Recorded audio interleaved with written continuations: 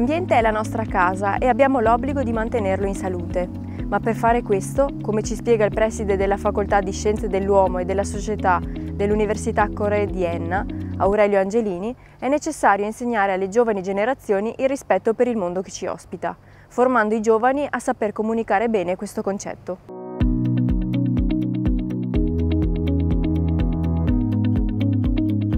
Ormai da alcuni decenni c'è un tentativo di riformare l'ordinamento eh, formativo del nostro paese al fine di avere da parte dei giovani e quindi delle nuove generazioni un'accresciuta consapevolezza dell'ambiente nel quale viviamo non solo perché vivere nelle città per tanto tempo genera un disaccoppiamento del, tra l'uomo e la natura e sembriamo degli estranei, noi umani, rispetto ai sistemi naturali.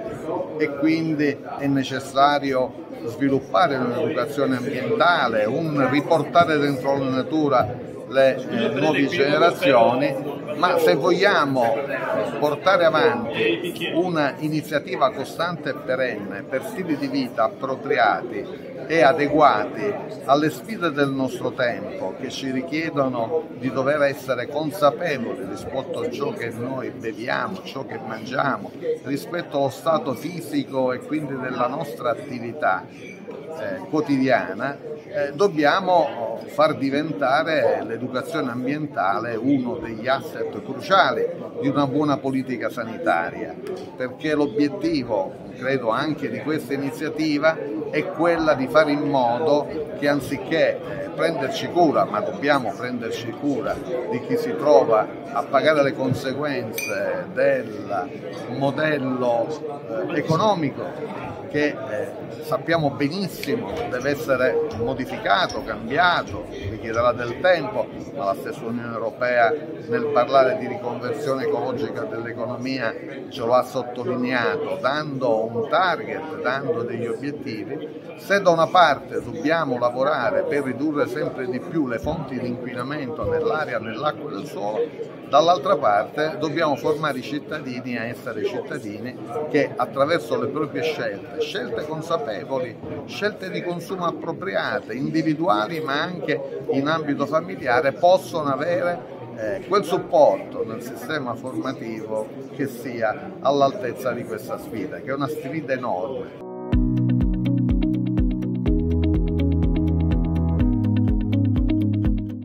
Poi c'è un altro aspetto che riguarda le università. Le università oggi sono del tutto disallineate come ordinamento eh, universitario dei corsi di laurea.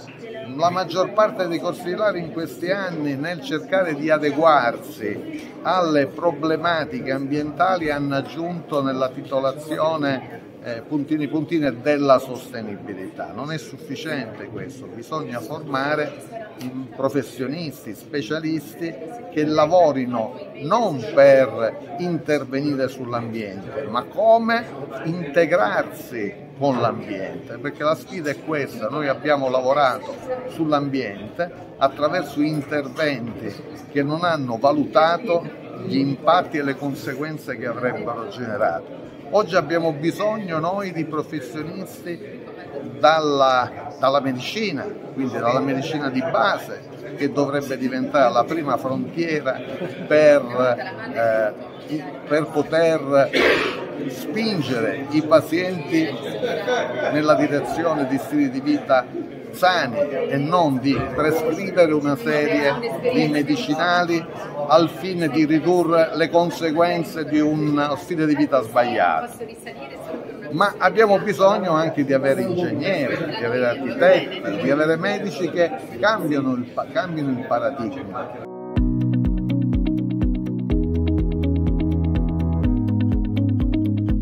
La sostenibilità non è una nome, un, un,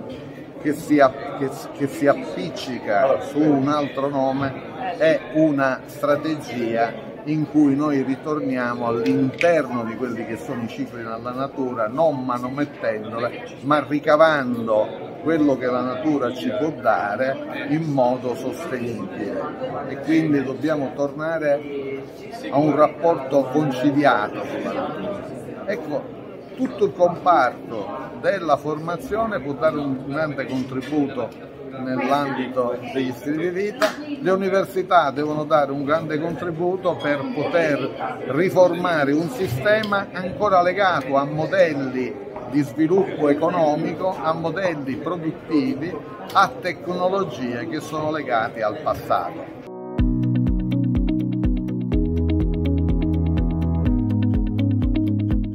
Oggi ci sono nuove frontiere che bisogna traguardare. Questa è la sfida del nostro tempo perché non possiamo pensare di eh, guardare al futuro con serenità senza